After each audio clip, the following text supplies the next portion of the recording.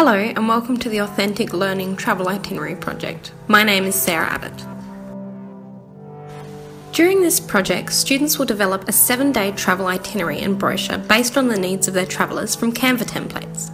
The itinerary includes details of travel such as accommodation, flights, activities, and food, as well as an estimated budget for the entire trip. The brochure should include statistics on economical, social, and demographical information, attractions, common health issues, safety tips, information on currency, weather, and common phrases translated into the native language.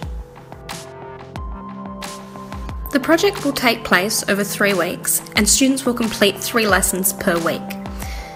The students will be required to produce two final products, including a travel itinerary and travel brochure, using Canva. Students will be assessed formally on their submissions of planning documents and final products, however, they will also be assessed on a parent presentation. This project covers several subject areas, including humanities and social sciences, mathematics, and languages, in particular Chinese. It also covers several aspects of the curriculum, including the standards that you can see displayed along the left hand side of the screen. On completion of this project, students should demonstrate an understanding of differences in economic, demographic, and social characteristics of different countries, identify and name major cities and countries on a map, interpret timetables by choosing appropriate flights, recall common Chinese phrases orally and translate sentences, construct a visually appealing brochure and itinerary with only relevant information selected, organise and plan events in a sensible order, and select appropriate mathematical strategies to calculate cost. This project has been separated into three sections the project introduction, the project development, and the project finalisation and assessment.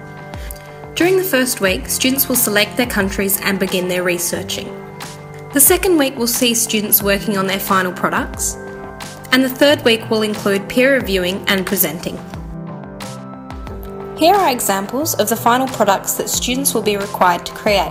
On the left hand side is the brochure, and on the right hand side is the first page of the itinerary.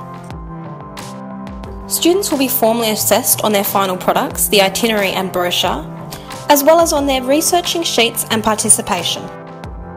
Finally, students will be assessed on a parent presentation in which they will act as a travel agent.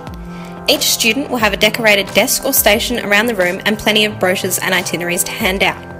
Students should be encouraged to bring in decorations and props to assist them in showing off as much content knowledge as they can. That concludes the introduction video to the Authentic Learning Travel Itinerary Project. Thanks for watching.